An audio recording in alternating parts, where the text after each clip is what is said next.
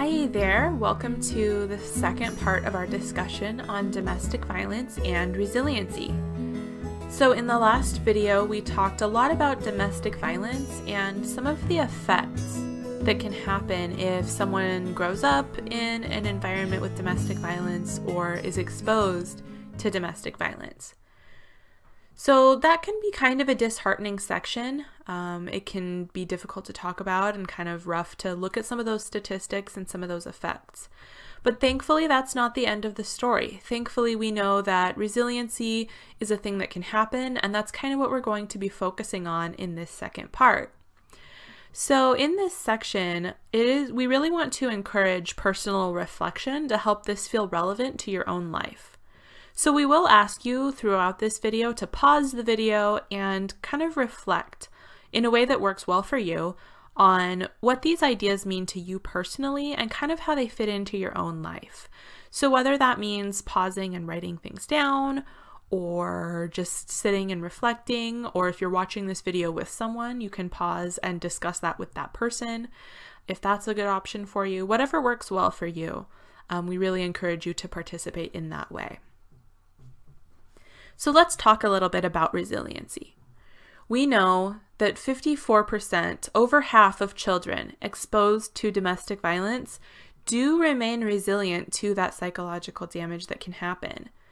So, what is resilience? How do we become more resilient? What do we mean when we say resilient or resiliency? So take just a few minutes, um, again, like we warned you would happen, um, pause the video and reflect on a way that works well for you um, on some of these questions. Think about what resilience is and how people around us or we ourselves can become more resilient. So, resiliency is the power or ability to return to health or to recover from stress, adversity, trauma, that type of thing. So if you watched the video about Will Gay, was he resilient? And how do you know whether or not he was resilient? How did he become more resilient? Did he have anything or any people who helped him out in that process? How do we build resiliency in our own brains? Or how can we help others to build resiliency? So, Go ahead and think about these questions. Also, pause the video to watch this linked video and learn a little bit more about building resiliency. So take some notes on some of the types of things that you see and that you notice that help build that resiliency. Um, and think about how that applies to the story we saw about Will. Okay, so by now you should have gone and watched that video about resiliency. So what were some things that you learned? When negative experiences lessen or end, and when we have safe and supportive people around us and other positive supports, we can start building that resiliency in our lives. If we have someone who maybe is in need of a little bit of help building resiliency, we can do what we can to keep those negative experiences at bay, kind of keep them um, lessening or end them, and be the, one of those safe and supportive people for that person to help them build that resiliency as well. Here are a few more tips for building resiliency. Working on acceptance and being able to adapt to change. Learning how to identify and manage our own stress. Identify things that might kind of trigger our stress and be able to know what kinds of things, know ourselves, and know what kinds of things can help to relieve that or avoid that. Practicing compassion and empathy. Regulating our own emotions, being aware of ourselves and knowing ourselves and what types of things are going to be more difficult for us, what types of things might be more sensitive for us, and how we can kind of regulate that and sort of keep that in a in a balance. Identifying support systems in our lives and making positive relationships. So, if we have people who are supportive and positive in our lives, figuring out who those people are and reaching out to them and connecting with them. If we don't have people like that in our lives, making those connections. So, whether that's going to school resources or work resources or some other type of community resource, a religious group, or a, a group of people who have maybe similar hobbies or similar values. Finding those types of people who can be that support system for us is going to be very, very helpful, especially if we don't already have those support systems, making sure that we get those connections made.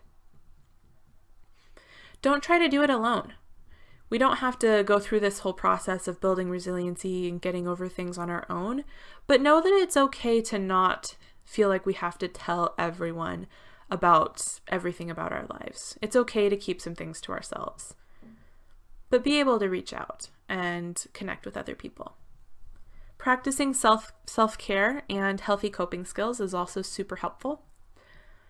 Knowing ourselves, knowing what kinds of things are helping us to take care of our own selves, as well as focusing on our strengths and making attainable goals, making goals that we can achieve, and knowing what types of things that we are good at. So, how are these things on the list for you? How do you do them? Which types of things did we see Will in the video doing? Is there anything on this list that maybe is naturally easier for you? Is there anything that you notice and think, oh, I already do that naturally? Is there anything on this list that you might have to work harder at that might be more difficult? Go ahead and pause the video again. Write down some of these questions and reflect or journal about them for a little bit. Um, maybe notice what types of things are more difficult, what types of things are easier, what types of things you already do, what types of things you might want to do more. So just take a few minutes and reflect on that. We've got a couple more questions to ask. So as we go through these questions, I encourage you to again continue to pause the video after each question and spend a little bit of time reflecting on these questions um, or discussing or answering them in some way that works well for you.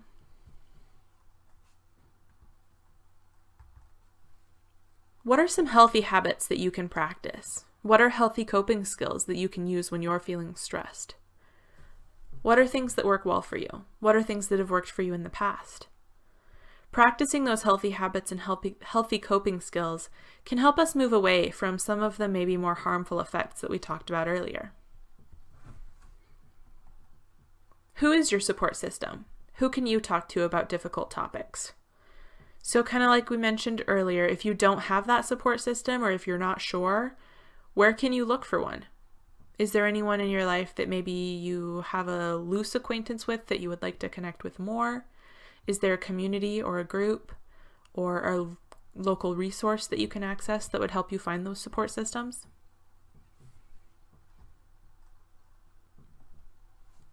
What can you do to care for yourself or to take a mental break? Never feel bad for taking a break or taking care of yourself. Self care isn't selfish, and self care looks different for different people. So, what does it look like for you to take care of yourself, or take a little break, or step away? What are your strengths? What can you do to build your strengths? Knowing yourself and your own strengths can be a really helpful tool for learning how you personally build resiliency. So, what are, what are you good at? Do you want to do that more? Do you want to expand that? What are some things that you value about your own self? So, hopefully, you had to take a little bit of time to think about those questions, answer them, reflect on them. Those can be really helpful questions for us to consider as we're working on building resiliency in our own lives. So, what can you do? If you or someone you know might be struggling to build resiliency, what can we do about that? Remember that we at Safe Passage are here for you, so if you want to learn more information or get connected with other community resources, we're happy to do that. You can reach us at that phone number up there on the top of the screen, 208 664 9303. That phone number is available 24 7. We can also talk to other people that we trust, like parents, teachers, friends, other people in our lives that we trust and who are safe for us. Again, identifying those positive and safe support systems and supportive communities. If something is going on that is putting us in danger or that is a crime, we can always report to law enforcement or a school resource officer. Obviously, if we're in very immediate danger, calling 911, um, but we can also report to law enforcement or student resource officers as well. Getting connected to counseling services can also be incredibly helpful going through some of these feelings and some of these dynamics with a professional. And taking care of ourselves and practicing those healthy coping skills.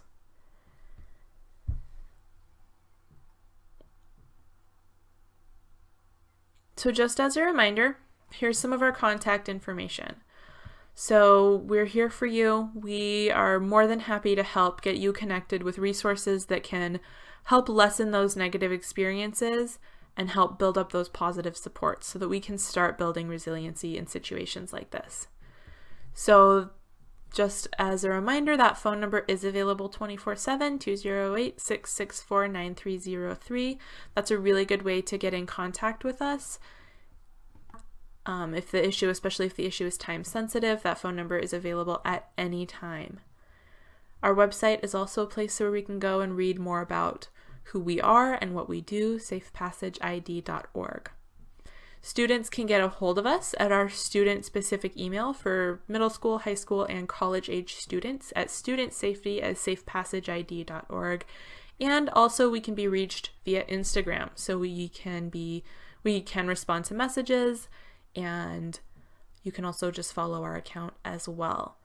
Our Instagram and our email are maybe not the best options if the issue is very time sensitive because we can't always guarantee that we'll be able to answer those messages immediately. We do our best to answer as soon as we can, but if the issue is really time sensitive, the phone number is probably a better bet. We also have a Facebook page. So before you go, this presentation did have a lot of heavy content, so feel free to watch this linked video, this little pep talk. It's very uplifting and very fun. So feel free to click on that and watch that. And thank you so much for listening and participating. Have a wonderful day.